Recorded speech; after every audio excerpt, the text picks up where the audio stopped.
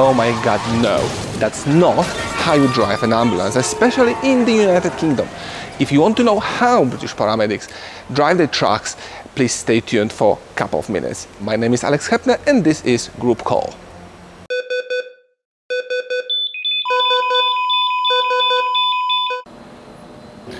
So everything started with a simple question asked by my friend Tomek, who is a HEMS paramedic. He also runs most popular medical blog in Poland called Pre-Hospital Blog. By the way, check the link in the description below. So he asked me, how do you guys drive the ambulances in the UK? Because in majority of countries there's no training, just keys and here you go, drive it as you stole it. So I said, no mate, in this country there's a huge science behind it and if you don't believe me, better believe this person. Mr. Nick Lambert, Head of Education, Driving. We have two ways of training our ambulance drivers. It depends what level they come in. So for our patient transport services, which is our non-emergency side, we deliver a one-week training course uh, where we embed some key systems about smoothness and safety, obviously because of, of our precious cargo that's on board. Um, the second uh, side we have is our emergency response training side, and they could be people that have already done our one week course previously, or they could be new into the ambulance service. And that's a four week structured emergency response driver training course where we train staff to become emergency response drivers, we teach them advanced driving skills, we teach them how to handle the larger vehicle in various road, traffic, weather conditions, uh, all using the system of car control, which is a, a, a roadcraft based system. But hold on, let me, let, let me stop you here here, why do you need a system? Uh, you, you, should have the keys and here you go, drive it as you stole it. Keys and drive it as you stole it. The, the trouble with keys and drive it as you stole it, we'd end up with lots of accidents, probably many fatal accidents.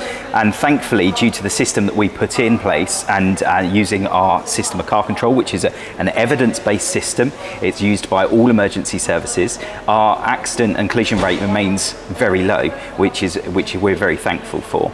Uh, and so we use this evidence-based system. It's based on two books here. You'll see um, uh, there's Roadcraft, which is the Advanced Driving Police Handbook, and uh, the DTAG book, which is the Driver Training Advisory Group, which is uh, made up of the heads of departments of driving nationally, and we all feed into these books. So you um, are a co-author of one of those books? Well, I, have uh, I've fed into this book. I'm, I'm a contributor to the, to the Roadcraft book. We have a, a rewrite every few, uh, every few years, and uh, I was a co-author or a contributor really rather mm. than a mm-hmm. co-author. Uh, but basically the experts get around the table, we discuss uh, best practice, we discussed things like incidents. So, for example, the police were having uh, a, quite a large amount of collisions with vehicles after new tyres had been fitted. Mm. And so we made sure that we then highlighted the fact that actually fitting brand new tyres, everyone thinks they're, they're, oh, they're sturdy, they're safe, but actually they take some bedding in time, some scrubbing in time. Mm. So actually, um, so it's a lot of it is reflective practice, similar to paramedicine, mm-hmm. uh, and we learn from our mistakes.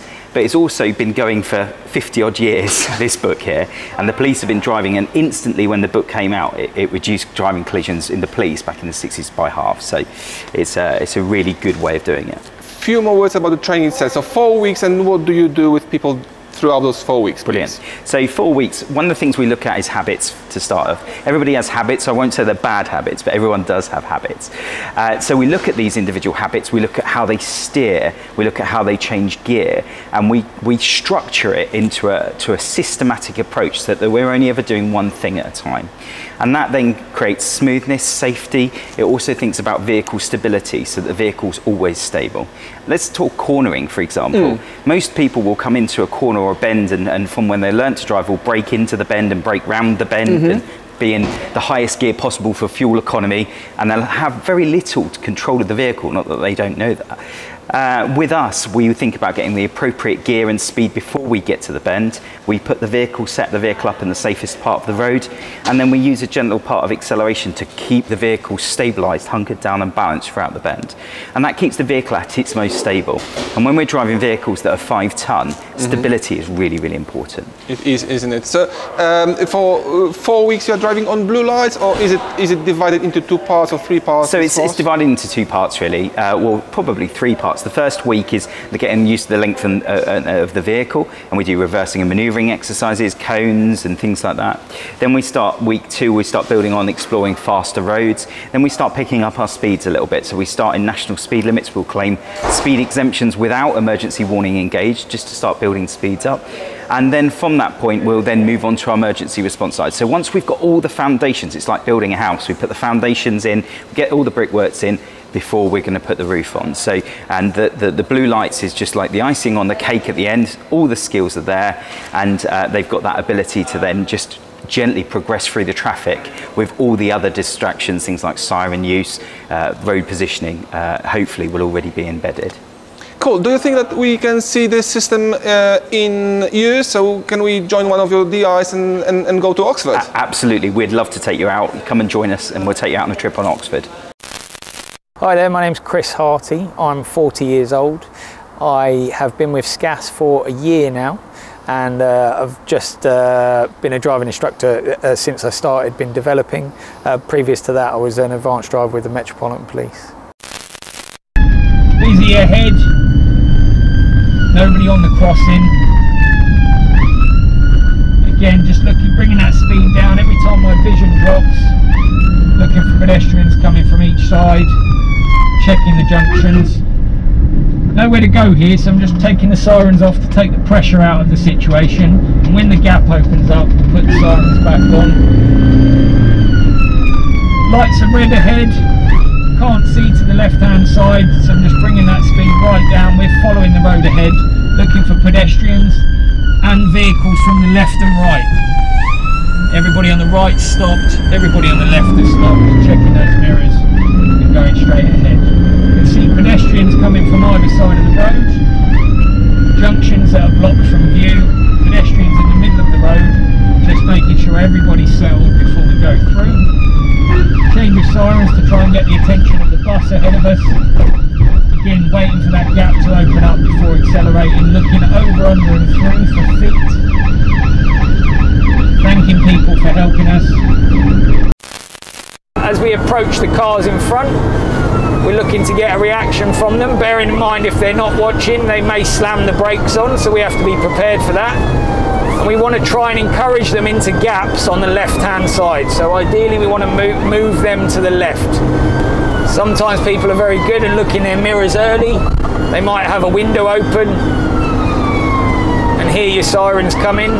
Sometimes at this speed on these roads, they might not see or hear you for a long time.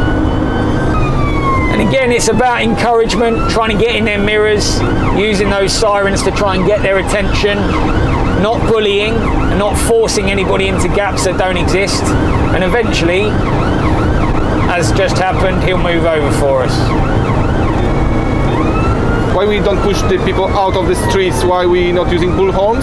Uh, because it's dangerous. We don't force people, we're trying to ask the public to help us. We've got no exemption in, in British law to push people into gaps that don't exist, push people through red lights. It's can you see me? Can you hear me? Can you help me? Okay, so we've got solid traffic we are going to try and do what we call part the waves. So we're going to try and go up the middle of the two lanes. We're going to have to bring our speed down, constantly check our mirrors and pick out every car and make sure each and every one of them has seen us why are you doing so weird things with your hands? Why are you not driving with one hand? Okay, so hand positioning is 10 to 2 or quarter to 3, but we're having the hands on the steering wheel. We don't want to wrap our thumbs around the wheel because if we crash, we can end up breaking our fingers. Uh, we keep our hands in this position to keep a nice relaxed grip on the wheel and so that we can use pull push steering. So we yeah. pull down with the dominant hand and the weaker hand or the opposite hand just supports the wheel. Why do you use this push pull steering? The pull push steering is the smoothest way of steering the vehicle, especially large vehicles like this. And we do that for patient comfort. We're trying to uh, maintain the stability of the vehicle so that we stay shiny side up on the road and also for patient comfort. Choosing my gear and then push pull steering as we go round to the right, pull down with the right hand and support with the left.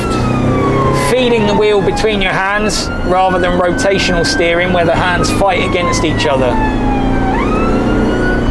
We should be checking our wing mirrors. The highway code tells us about every 10 seconds or so, 10 to 20 seconds, but we teach to cha- check wing mirrors um, every time there's a change in speed or direction. I'm still surprised that you are you don't use bullhorns. Seriously, I mean, to me it was the biggest cultural shock when when I came over to this country six years ago that you guys are not trying to force yourself through the traffic. You are so polite and and, and, and leave the space and basically don't bully people. Absolutely. Um, everything we do in this country, we try and do with the help and the consent of the public. So we don't bully people. Um, we try and do it with the public's help and consent. And if they trust us, if they help us, then it makes our job a lot easier. There is no call that's so urgent to justify us having a collision. So if it takes an extra 30 seconds to get there safely, then we'd rather do that than arrive 30 seconds earlier or maybe have a crash, maybe not arrive at all. That's it guys. Thank you so much for watching. I hope you enjoyed this episode. Uh, if you fancy a bit more clinical stuff next time, please check out my YouTube channel or simply go to www.groupcall.uk and check out stuff there. Uh, please don't forget to like and subscribe. My name is Alex Hepner and this was Group Call.